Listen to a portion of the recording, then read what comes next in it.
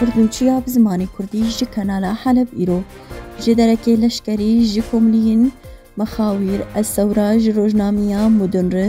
diyar kir ku Urdunê ji Washington dostkiriye ku grûpan ji hêla xwe ve ava bikin bo şerê mêlîşên Îranî.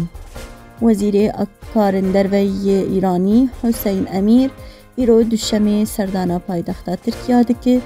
di yekmîna serdanê de bi armanca axaftina درباري اوبرسيوني لشكري لباكوري سوريا تورا سوريا ما بين مروفان تكس كرغو بهتر جي بينج حزار زارويان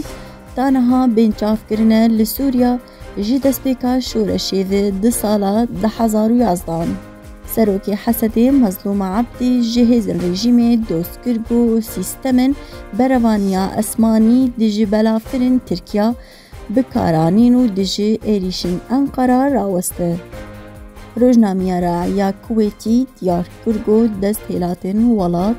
قاچاقکردنا 7 میلیۆن هەبن هشبەری ji سووریا ڕاوەستن و دیارکردن گۆنەرە خێوان گیهان 11 میلیۆن دینارن کوێتی. Berevaniya Sêvil diyar kirgo teyminwan gihan, çar qezeyان û şeş agir li Bakurê Sûriya ve mirandin گوت انجام دهی هجمارک سێڤل بریندا کردبوون.